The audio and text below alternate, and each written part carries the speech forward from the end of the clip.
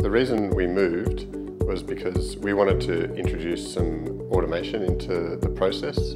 That was um, what we saw as important to the organisation from both a health and safety perspective and also an efficiency perspective. Unfortunately, in the old facility, we just didn't have the space uh, to introduce any of that technology.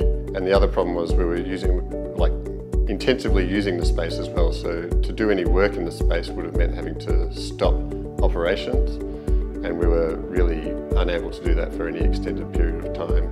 In the new facility, there's really not too much close contact with any dangerous goods. So we've been able to eliminate a lot of those risks that are associated with chemical manufacturing. And that's been mainly via using automation, so whether it's an AGV, so a forklift that's self-driving, alternatively using uh, robot, robot arms that do the pumping for us. So an AGV will take our raw materials to a position and then a robot will pump out of that position into the tank and then the tank pumps into the holding tank which then gets packed off and the packing off process is now fully automated. So we've gone from a situation where we had people packing off into drums to a fully automated conveyor line the only human contact is uh, somebody picking up a, a packed pallet that's been wrapped at the end of the line. I mean, we planned to be here for a long time, uh, and it was important to us that it had more of a campus feel as opposed to a, a warehouse box.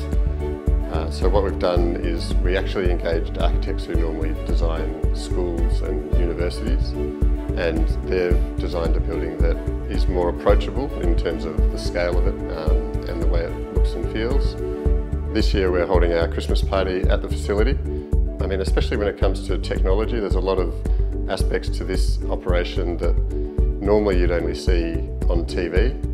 They'll be, especially kids, they'll be seeing it for the first time um, and it'll be exciting for everybody and also memorable. Uh, you know, I know now I've seen where mum and dad work, so it's important for us, especially being a family company, a lot of employees who've worked with us for a long time, so maintain that longevity of employment.